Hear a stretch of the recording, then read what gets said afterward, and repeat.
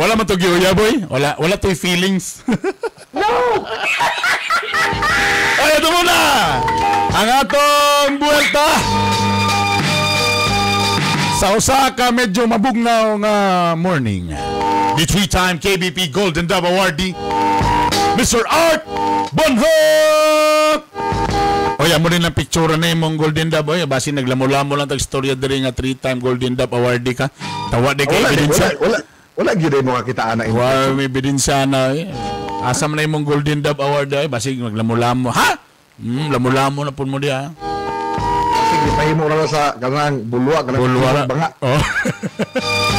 May laman mo kay Hiwi ang naong sa dab. Art Bonok Jr. Basta mga junior, Gahi.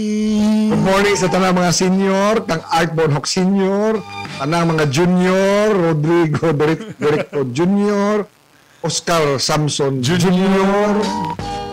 Sabi ng mga junior ngayon. Dagan mga junior. Sabutan na ito ni kaning uh, single-use mask. Oh, tama. Pag magawas sa balay, ang pagsuot sa face mask is a must.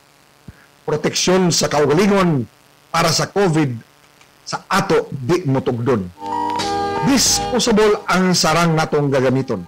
Kay lagi, mas taas kini og proteksyon kumpara sa ordinaryong panapton. Apan, kining disposable mask nahimong problema. Kabalo ka nga gahi berli Ano, ko why, why? labi na sa mga environmentalista.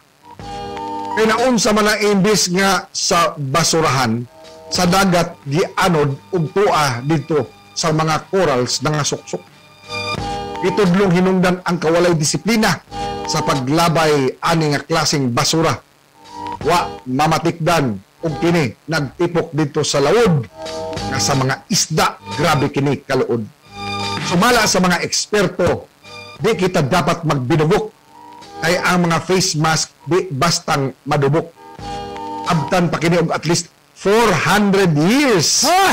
para kini ma-decompose. Dugay pa. Mas dali pagod maunhan silang gaminopause. Niaging tuig 1.5 billion ka mga mask ang nahakot sa kadagatan. Kung kini magpadayon, kita ray gaguba sa atong kinaiyahan. Marine wildlife labihang apektado tungod ra sa atong pagkaabusado. Ang single-use mask gawas nga kwarta paspas makalas ang kadaot sa kinahiyahan atong gisamutan. Pagtuon sa atong paglabay o pag-recycle ani mga disposable aron di ta maapil sa umabot nga mga trouble.